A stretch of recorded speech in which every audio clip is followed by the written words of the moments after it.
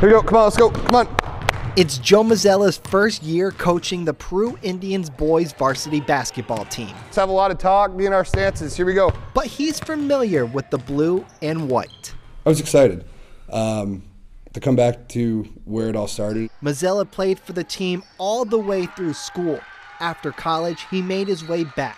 Now, as the youngest basketball coach in the Champlain Valley Athletic Conference, he's facing coaches he went up against as a player but that doesn't bother him in the least. It's exciting to see him. Uh, you know, I haven't seen some of them in a couple years, so you know when we meet before the game, it's nice to go up and get a good handshake and a hug and say how you doing. Coaching runs in the family. My father coached us uh, in the youth program, um, and when I was in the youth program, he was the head coach here, so it's kind of come around full circle. His parents are very happy to see him heading up the team. I was excited about it. You know, emotionally, it's you know, come a full circle. Was nervous back then. I still get nervous, but he's fun to watch as a coach. Um, very proud of him. Senior night earlier this week had a special meaning for him. For two reasons. Our next senior, uh, Andrew Mazzella, here tonight with Father Chris, Mother Ann, and Brother Joe.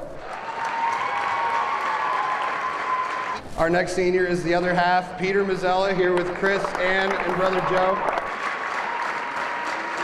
His twin younger brothers are seniors on the team. Having um, Joe being our coach and having him share this um, last season with us has been kind of special. I'm, I'm happy to see what it, that he's doing what he loves and that Peter and I get to be a part of it.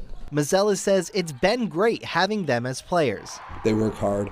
Um, they're great leaders and they're a lot of fun to coach. The end of the season means an end to the Mazzella kids being Peru basketball players.